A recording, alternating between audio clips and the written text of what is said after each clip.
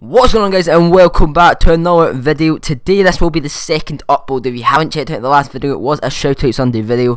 So if you want to get involved in that and get yourself some active subscribers on your channel, more views, more subscribers, all that cool stuff, make sure to go check that out. But into today's video, it is going to be a new series I'm going to be starting during the summer. And I know I start loads of series and don't finish them, but this one what is one that I actually enjoy making, um, so I'm going to try and continue to keep this up. It is called the Transfer Room. I'm going to probably upload it every three or four days, not every day, um, but every few days, maybe two, three, four days. But into the first player is going to be Dani Alves.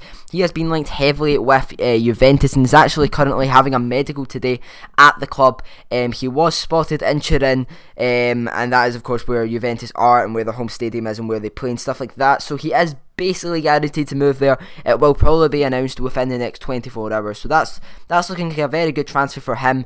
Um, sadly, I'd like to see him at Barca for a bit longer, but seem, he seems as if he wants to move on with his career. We then go into John Stones, who has been linked with Manchester City for ages. Um, Pep Guardiola apparently thinks he's a great player, thinks he's got a lot of potential, um, and that's the reason they want to bring him in. £50 million, so is quite a hefty price tag for the guy that's had a kind of up and down season. He's, he was, he's good for his age, um, but he does make a few it does have a few kind of um, bad moments here and there, but it would be a good signing. I think I don't rate him that much.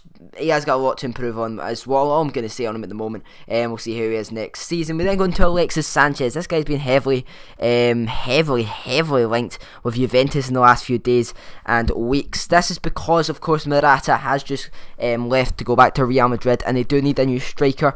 And apparently they want to put Sanchez in that position. You might be thinking, wait, he's not a striker. But he does play in the striker role for Chile. And that is probably what they're looking at and want to bring him in um, as their new striker for their club. It would be a good signing for Juventus. But it would be a very, very bad departure for Arsenal going through next season. But to kind of um, resurrect that, we have got Alexander Lacazette, who could be the replacement for Sanchez. So Sanchez is the, is the replacement for Morata, but then we've got Lacazette, the replacement for Chan uh, Sanchez. So this could go on. It's like a wee kind of thing that's going on here. Um, and Arsene Wenger really wants him. It is going to be roughly 20 to 30 million, I believe. He is from Lyon. Of course, he did get two seasons ago the top goal scorer in the League One, beating Ibrahimovic and Cavani, players like that too. So he is very, very good. Um, and sadly, we didn't see him at this year's Euros. We then go into Mkhitaryan, who's basically just about to announce, I believe, um, as a new Manchester United player. I believe the deal is roughly 23 to 27 million. So it's it's quite it's quite quite cheap, I would say, for a player of his standard. Very, very good deal for Manchester United if they can pull this out the bag.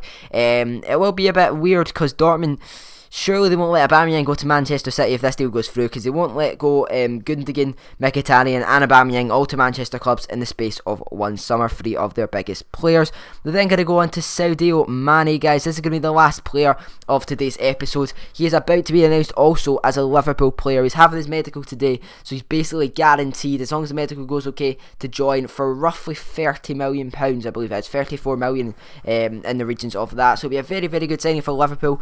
They do all, all they do is sign Southampton players. Let's face it. Um, it's another one coming through now.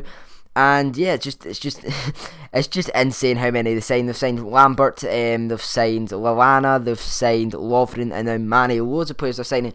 But he, this guy is a proven player in the Premier League. He's done very well. Got the fastest hat trick of all time, I believe, as well, um, in the Premier League. So he's a very very decent signing for them. But hopefully you guys have enjoyed today's episode. If you have, make sure to smash the like button, guys. Subscribe, guys, as well if you're new to the channel. Tell me any rumours you've heard of, and I might include them in this. And if I do, I will give you a shout out apart from that, I'll see you guys next time.